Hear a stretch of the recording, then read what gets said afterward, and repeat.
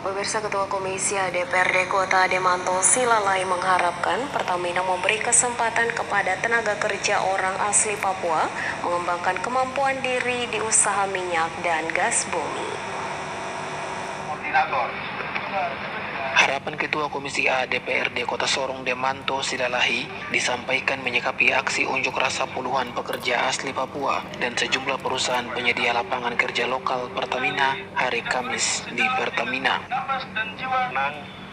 Aksi unjuk rasa menolak indikasi ketidakberpihakan Pertamina App Aset 4 Papua Phil Sorong terhadap pengusaha luar Papua ketimbang para pengusaha asli Papua dalam proses tender merupakan hal yang wajar sehingga diharapkan diperhatikan. Kita sampaikan kepada pimpinan supaya eh, bahwa Papua itu beda dengan kita bagian barat. Harus ada keberpihakan ya.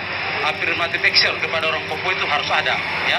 Ya, harus ada keberpihakan kepada orang Papua baik dari segi aturan. Kalau kita samakan aturan itu dengan bagian barat nanti kita orang Papua di sini Papua itu nanti tidak akan pernah dapat kerja lagi. Untuk pada eh, teman-teman vendor ya, tentu proyek itu kan ada aturannya ya, baik secara teknis, baik sumber daya manusia maupun peralatan.